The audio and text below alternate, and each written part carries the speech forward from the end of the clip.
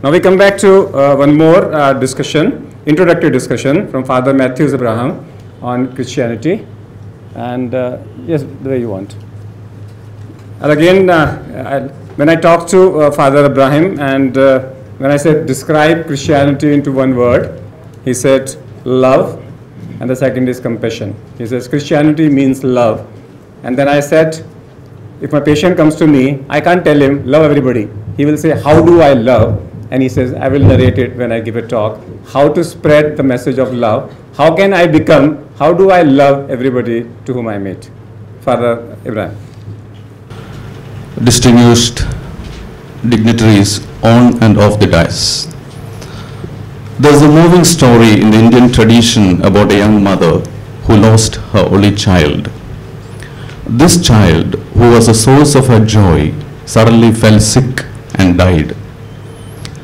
The mother, in her anguish, came across Sri Buddha and asked him, Why did this happen to me?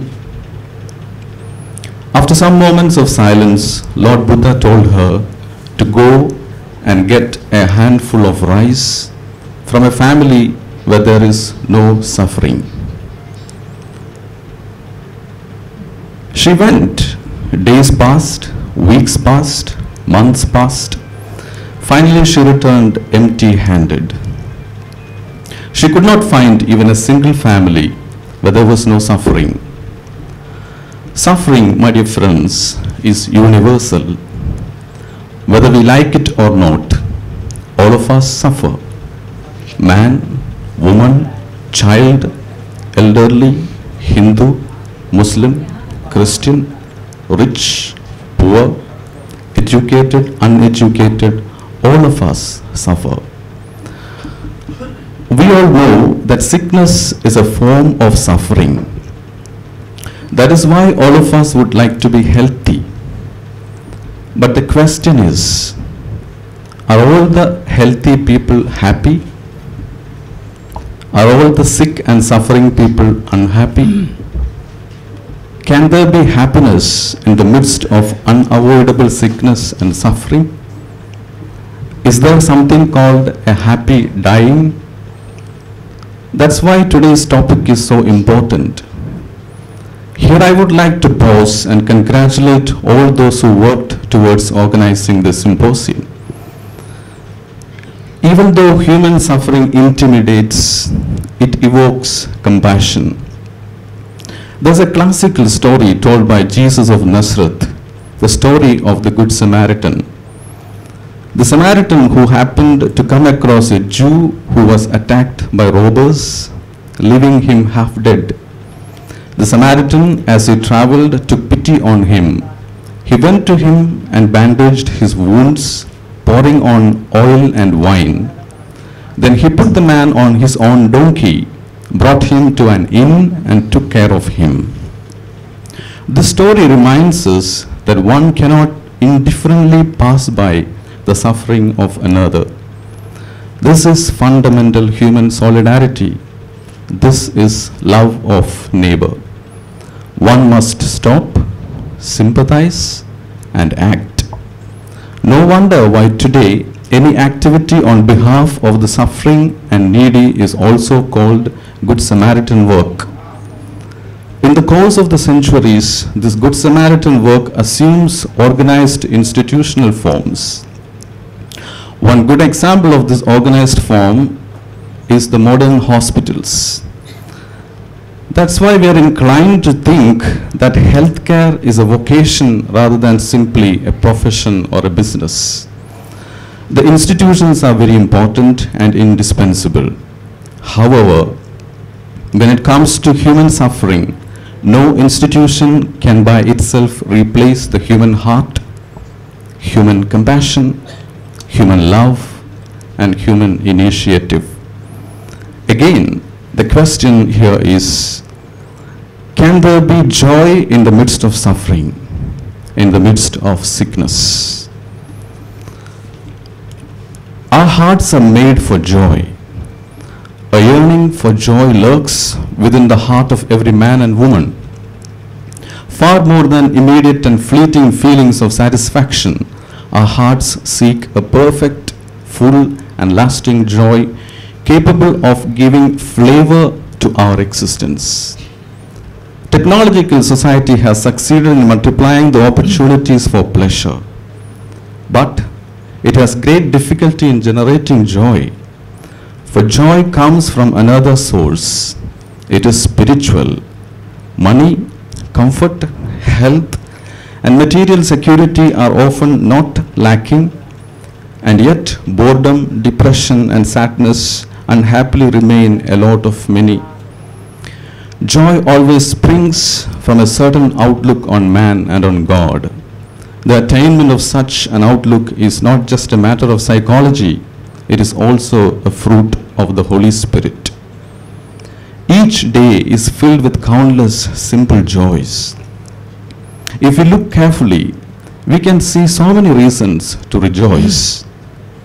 The availability of basic needs of life like air, food, shelter, clothing, health, a cool breeze, the things we often take for granted. The happy times in family, shared friendship, the discovery of our own talents, our successes, the compliments we receive from others, the ability to express ourselves and to know that we are understood, and the feeling of being of help to others. There's also the excitement, excitement of learning new things, the experience of reading a great work of literature, of admiring a masterpiece of art, of listening to or playing music, or of watching a film. All these things can bring us real joy. However, there's also needed a patient effort to teach people or teach them once more how to savor in a simple way the many human joys that creator has that, that the creator places in our path.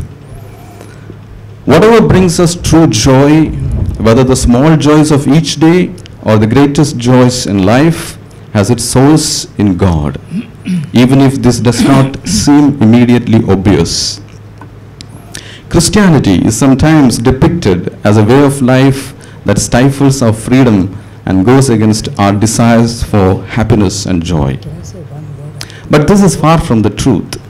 Faith brings happiness and joy, which is true, full, and enduring. Jesus appreciated and celebrated a whole range of human joys. Those simple daily joys within the reach of everyone the depth of his interior life did not blunt his attitude or his sensitivity. He admires the birds of heaven, the lilies of the field. He extols the joy of the sower and the harvester, the joy of the man who finds a hidden treasure, the joy of the shepherd who recovers his sheep, or of the woman who finds her lost coin, the joy of those invited to the feast, the joy of a marriage celebration, the joy of the father who embraces his son returning from a prodigal life, and the joy of the woman who has just brought her child into the world.